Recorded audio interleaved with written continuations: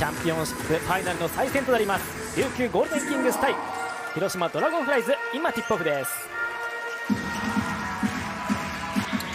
脇に渡辺がついています。そしてジャック・クーリー。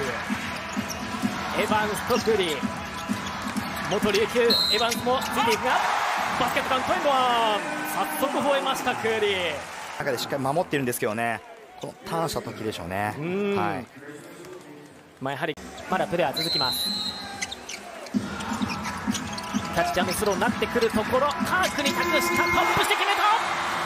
ブザービーターになりました。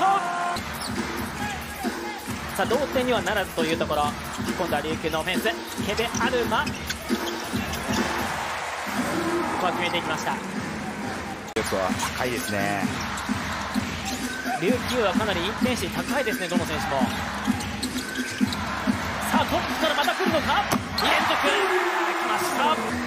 去年のファイナルの再戦は広島としてはもう一度ここで琉球に勝ってその力を示したいところでしたがここでアリエルダンクが来た。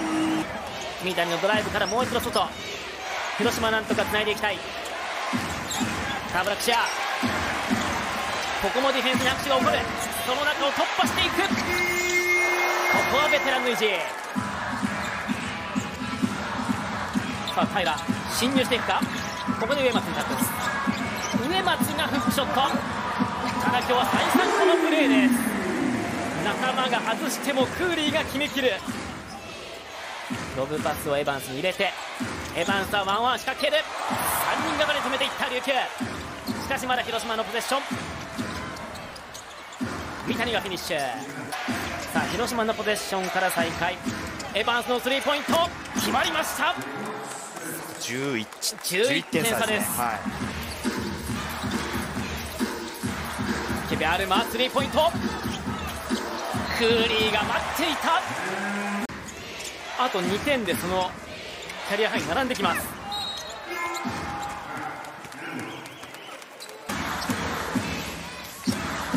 一方琉球はどうするか。ミスターキングス下本龍一。中で脇が待っていた。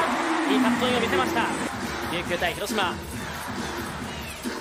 ここまで下本も打たない。クーリーが自らいったキャリアハイ更新主にディフェンスでその存在感を発揮しています。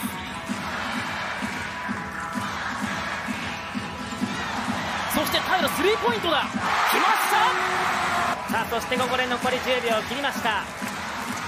琉球がフロントコートにボールを運んでというところ。終了のブザーが響きました。